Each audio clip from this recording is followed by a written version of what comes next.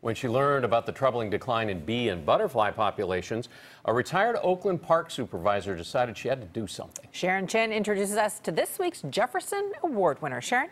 And here's an example. Tora Rocha has had Oakland teachers and volunteers foster parent monarch butterfly larvae to help increase their populations. And that's not all. This is your job to mix it, mix it, mix it. It's a muddy mess as kids mix soil with seeds from California native wildflowers.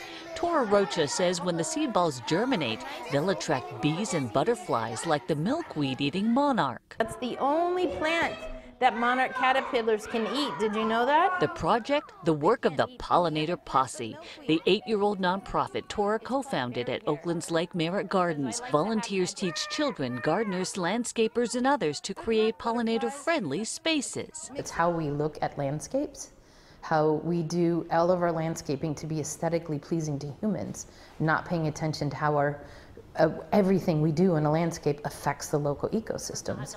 Five-year-old Malaya Lindsay learns she can make a difference. We're trying to make plants grow and also um, to make more butterflies and bees. How the kids are going to get the seed balls into the ground speaks to Tora's creativity. Pollination!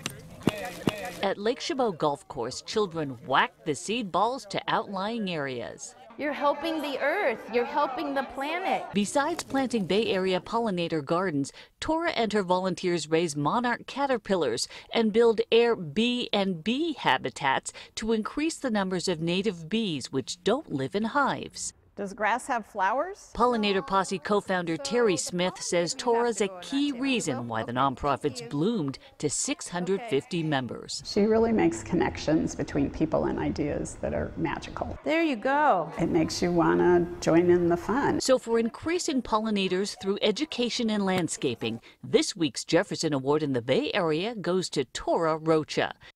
Tora also founded and organizes the Autumn Lights Festival, a three-night fundraiser at Lake Merritt wow. Gardens. Kids get to play in mud. Oh, they love it. Really good. Thanks, Sharon. And you can nominate your local hero for a Jefferson Award online. Just head to kpix.com slash hero.